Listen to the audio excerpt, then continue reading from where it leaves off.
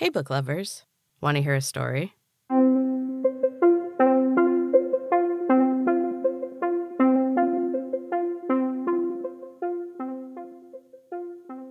Welcome back to Storytime with M. This is a bonus episode from M's Books and Cats podcast, where I am sharing my book SuperGym with you, a chapter or sometimes two a week, and we are getting very close to the end of this one.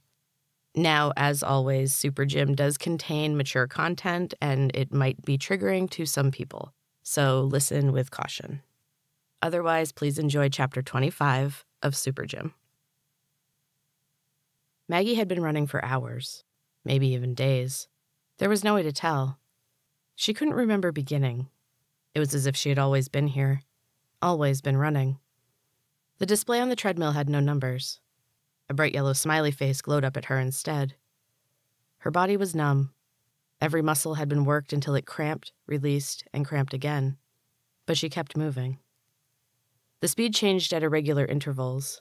At first, the belt went faster and faster. Maggie was certain she was going to die. Her heart was beating too fast. Her chest was tight and she couldn't breathe. She couldn't hold the pace. Her foot slipped, and she narrowly missed crashing down and being thrown from the machine. Her legs wobbled. She grabbed the handrail and got her feet back under her. It took a while, but slowly, her rhythm came back. The smiley face flashed twice. The treadmill slowed. Maggie still had to jog, but her breathing was easier. She could spare a moment to look around. There was a woman on the treadmill to her right. Her ribs were visible through the loose gray skin that sagged from her bones.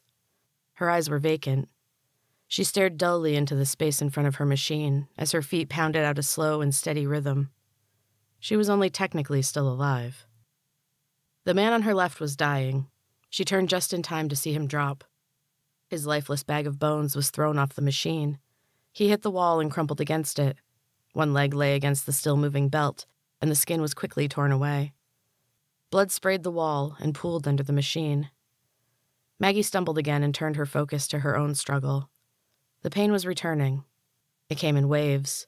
One moment her body was numb, then pain exploded in her joints, and every step was agony. There was movement to her left. Two burly counselors scooped up the man's mangled body and carried it away. They left his treadmill running. No one came to clean up the blood. The spinning belt covered everything with a fine mist of crimson. The smiley face on Maggie's machine flashed three times. The belt began to whir. Maggie grabbed the sides and forced her feet to move faster. This was it. She would be forgotten. She would fade away and die. No one would miss her. Maggie was broken. Her situation was hopeless. Before Fat Camp, she had always held on to a shred of hope. She believed there was a way around the madness. But she was wrong. No one escaped. They were all doomed to the same fate Time went faster on this side of the wall. The end was closer. The hours passed two, four, ten. Time didn't matter. There was only the end. The rest was just waiting. The smiley face flashed six times. The treadmills slowed to a stop, and the noisy warehouse fell silent. Maggie's calves cramped, and she gripped the handrails as her legs tried to crumple beneath her. Everyone was lining up. Maggie shuffled painfully into her place. The long gray rows of campers plodded through the wide metal door in the back of the room. She glanced over her shoulder as they passed through the doorway. The line stretched into the far end of the warehouse. Every camper was stooped, brittle, and gray. The March of the Dead. Outside the world was a bland landscape of taupe and tan. The black burnt sand was slippery and made the walk to the cabins excruciating. Her feet were cramped, painful clubs in her tattered sneakers. Her legs were shaky and heavy as lead. It wasn't far, less than a mile, but it felt like a hundred. Every step was one closer to the end, and she welcomed it. Maggie's line stopped in front of a rickety wooden building. There were holes between the ragged driftwood planks that made up the walls. A tattered brown curtain hung in the doorway. Spray painted on the curtain was the symbol of a pig. A counselor appeared at Maggie's side. He was enormous. His skin was stretched tight across his muscles, and she could see every vein. He was too muscular. Not quite the ideal. That's why he was at Fat Camp instead of the super gyms.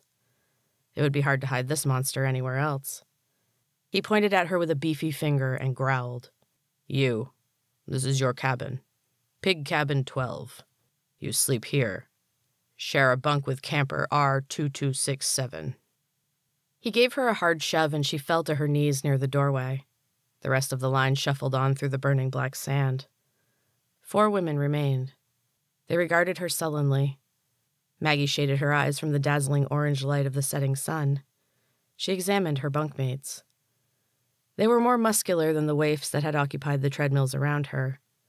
They had the same sagging gray skin, but that was the only similarity. These women were round and hulking. They were fatties like Maggie, but there was muscle under the fat.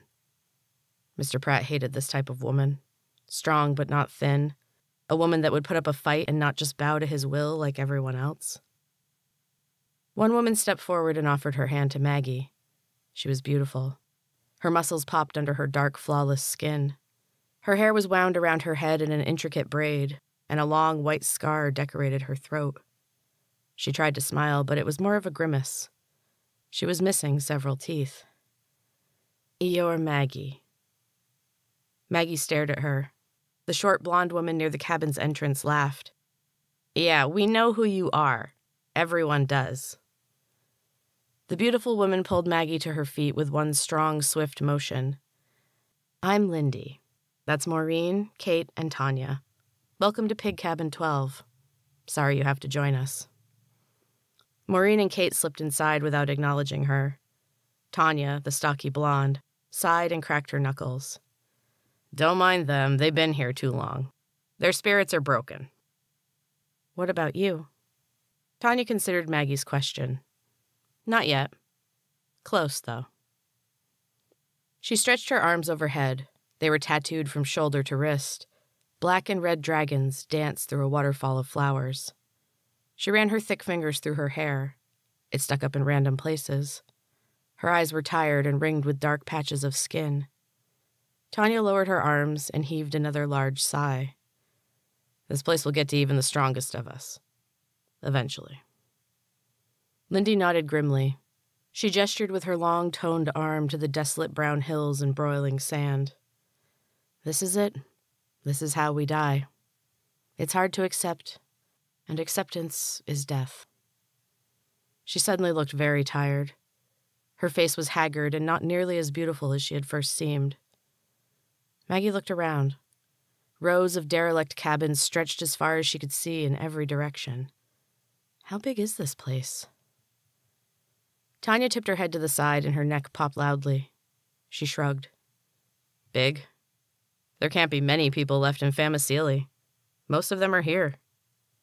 Lindy shook her head. It's not just Famaseely. There are some from other cities, maybe other countries, who knows? It doesn't matter. There is no hope. This place is the end. Tanya was staring at her. Her muted blue eyes were wide. She put a hand on Maggie's shoulder and squeezed. Maggie winced. Everything hurt. Tanya wrapped her arm around Maggie. Now that you're here, we have hope. We know about you. You're the unbreakable one. Maggie's face was hot. She couldn't meet Tanya's intense gaze. I'm not. I'm. I'm as breakable as anyone else. Her voice was a whisper. Tanya looked away. Oh, she said quietly. That's too bad. Her whole body seemed to sag. Her eyes were hopeless, and her arm dropped away from Maggie's waist. She pushed the blanket aside and entered the bunk without another word. Lindy watched her go. Don't mind her. We lost a bunkmate this morning, and they were close. It broke Tanya's spirit. She's given up, even if she doesn't realize it yet. I'm sorry she's disappointed, but I'm not unbreakable. Look at me. I'm broken. I've lost. You said it yourself. This is the end. Lindy gave her a sidelong glance. There is always hope. Many of us would fight. We just need a leader. That's not me. Too bad. Lindy was angry. Her hands balled into fists at her sides. Her jaw was set in rigid defiance. Maggie understood how she felt, but there was nothing she could do. She couldn't lead a revolution. She couldn't sacrifice herself for them. She wanted to survive. Lindy disappeared inside the cabin. Maggie stood uncertainly by the doorway. Her hands strayed to her throat. There was a slight buzzing sound. Her fingertips tingled, and she lowered her hand. A dark, hulking mass was approaching. The behemoth counselor had returned. He was barreling down the path between the cabins. His face was a purple mask of rage. He was screaming as he ran. You! T4200, get in your cabin! Now! She quickly ducked inside and he sprinted by without slowing. The ground vibrated as his feet pounded the earth. The rickety bunk beds shook with each footfall. She peeked through a hole in the curtain. He shot a look over his shoulder and pointed at her without breaking his stride. Maggie stepped away from the doorway. The other women were watching her with unfriendly eyes. The bunk above Kate was open. There was a thin, stained blanket covering the lumpy mattress. Maggie avoided their sullen stares as she crossed the warped floor and climbed painfully up onto her bed. It smelled like rot and stale urine. Maggie gagged. Lindy smiled. Maggie thought she saw a quick flicker of compassion cross her face. You get used to the smell. The stench was overwhelming. Maggie's stomach heaved. She leaned over the edge of the bunk and vomited. Hey! Kate cried out and rolled up close to the wall. Go outside and do that. Maggie climbed down shakily and looked around for a way to clean up the mess. Lindy sighed and shook her head. Just leave it. They hose down the bunks every morning. Get back in bed before you get us all in trouble. Maureen propped herself up on her elbow. Her arms were thin but muscular. Her translucent skin sagged on her bones. Her hair was graying but had once been a deep chestnut brown. Her haggard face lit up, and she let out a hoarse laugh. Hey, Lindy, she rasped. Bring back memories? Lindy shuddered. Her face darkened.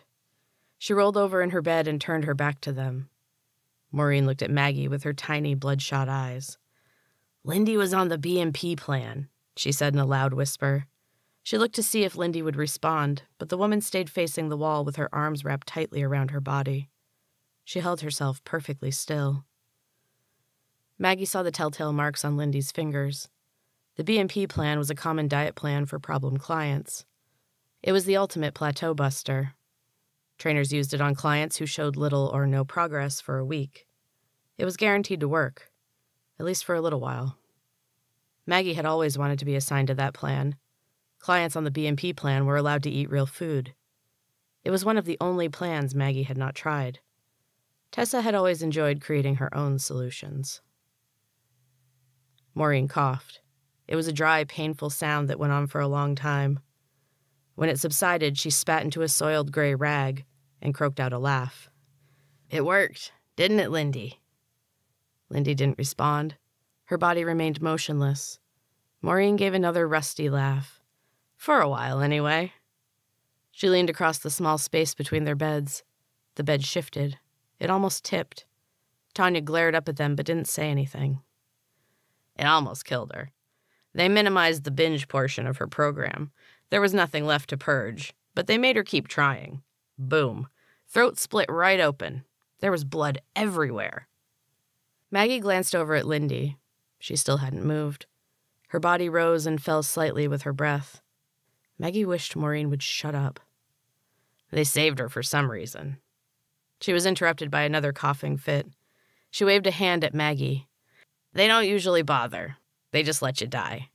I think it's because she's a problem client. All of us pigs are. They can't stand us.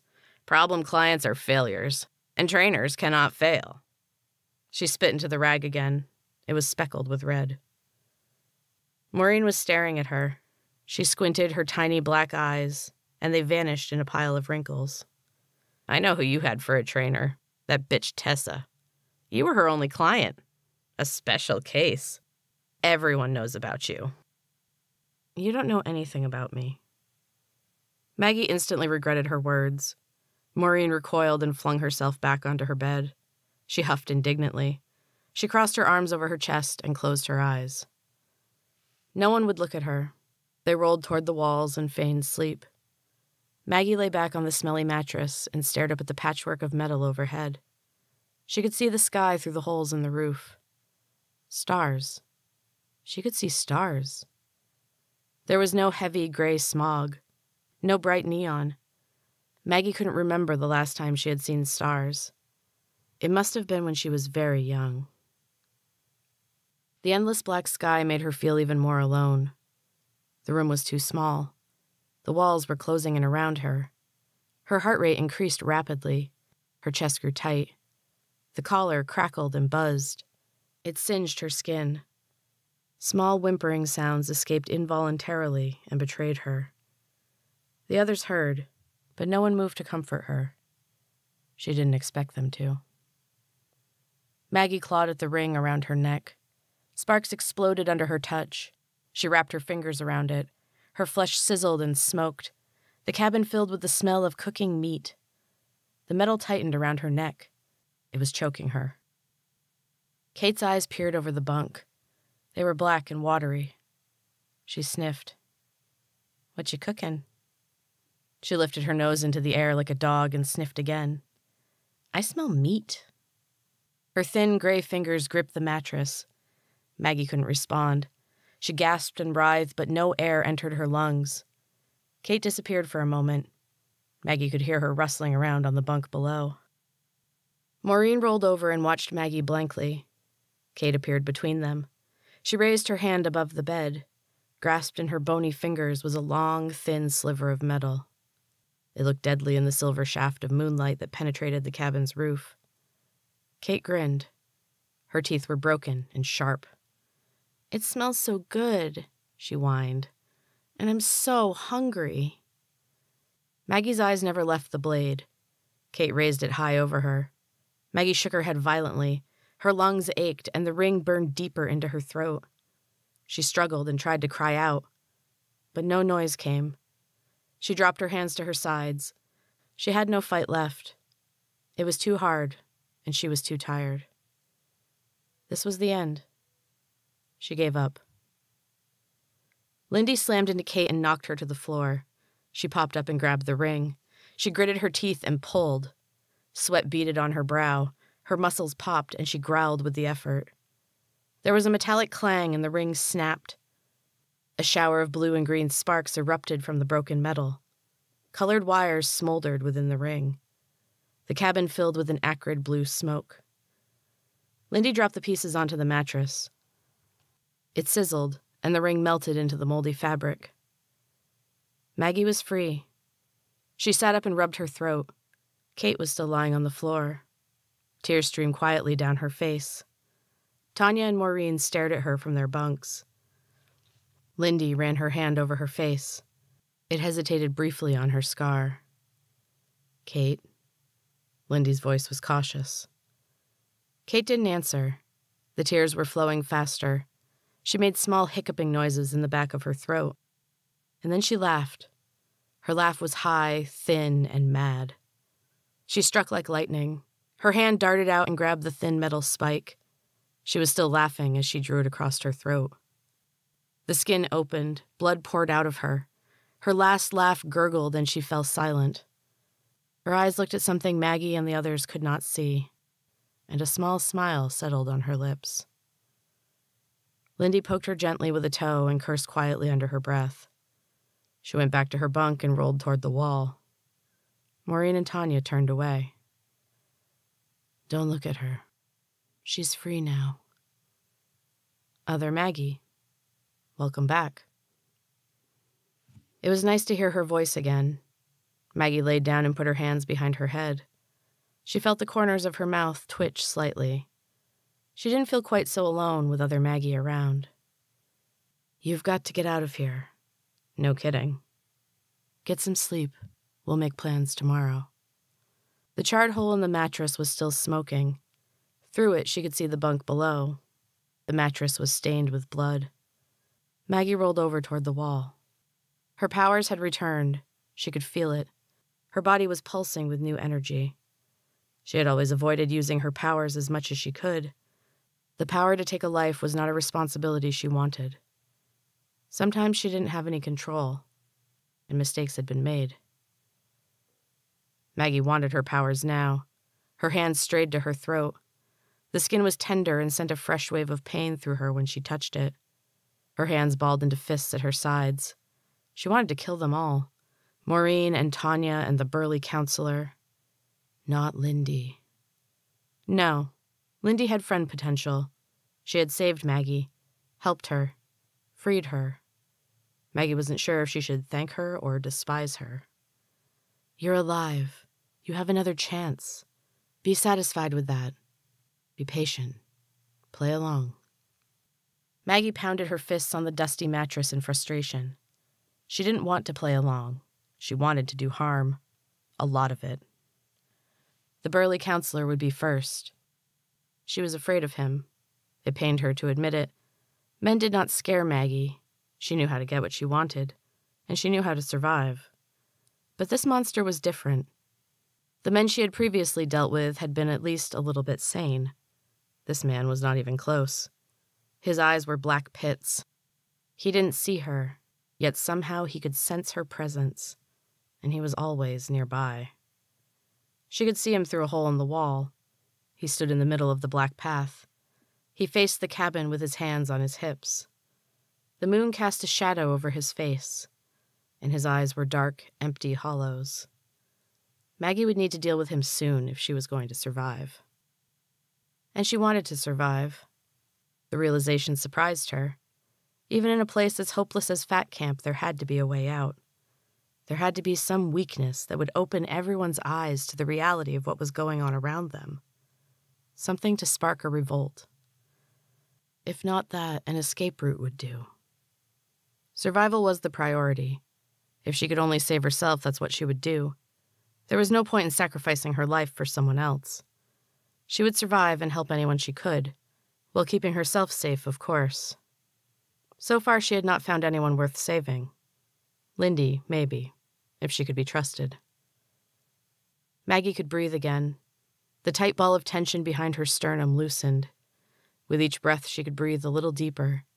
She could feel the oxygen returning to her body. Her fingers tingled, the walls rattled. The air became charged, and small white sparks danced around her. Thunder boomed in the distance. The sparks from the air filled Maggie's body with light. Her skin hummed with electricity. The feeling was not quite the same, but Maggie knew what was happening. She held herself still and stared up at the sky. Dark, sinister clouds rolled in and blotted out the stars. The silence was broken by a high, terrified wail. There was a thunderous crash. The walls of the cabin shook. A growing murmur of confused voices filled the night. A tall, lanky counselor ran into the cabin and planted her hands on her hips. Everyone was awake and sitting up in their beds. She surveyed them all with sharp, beady eyes. Everyone out, now! Line up! They stumbled out of the cabin and into the cold night air. They were jostled into line by rough hands. The counselors ran up and down the rows, barking orders and whipping anyone who didn't comply quickly enough. Maggie felt the burn of the whip on her ankle when she failed to lay face down on the ground. She barely noticed the sting. Her eyes were transfixed on a cabin not far from her own. What was left of it? Amongst the wreckage lay the bloody remains of the brutal behemoth counselor. She dropped down into the mud with a smile on her face. She met Lindy's eye and grinned, but Lindy just looked away. And that is the end of chapter 25, book lovers. I hope you're still enjoying Super Gym. I will be back next week with another episode. Until then, keep reading.